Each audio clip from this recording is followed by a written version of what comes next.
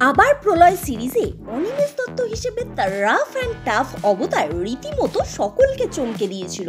টলিউডের অন্যতম অভিনেতা শাশ্বত চট্টোপাধ্যায় যে কতটা দক্ষ অভিনেতা সে নিয়ে নতুন করে বলার অপেক্ষা রাখে না। যে কোনো চরিত্রে তিনি সাবলীল। অনেক আগেই শোনা গিয়েছিল যে তিনি কিংবদন্তি কমেডিয়ান ভানু বন্দ্যোপাধ্যায়ের চরিত্রে অভিনয় করবেন।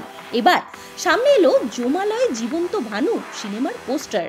বাংলা সিনেমার ইতিহাসে ভানু বন্দ্যোপাধ্যায়ের নাম স্বর্ণাক্ষরে লেখা থাকবে। তার মতো কৌতুক শিল্পী আজও টলিউডে দেখা মেলা বার উনিশশো আটান্ন সালে মুক্তি পায় অভিনেতার কালজয়ী ছবি জমালয়ে জীবন্ত মানুষ। আর সেই ছবিরই রিমেক বানাচ্ছেন কৃষ্ণেন্দু চট্টোপাধ্যায়। এবার শীতেই আসছে ছবিটি। শাশ্বতকে ভানুর চরিত্রে দেখার জন্য অধীর আগ্রহে অপেক্ষায় রয়েছেন দর্শকেরা।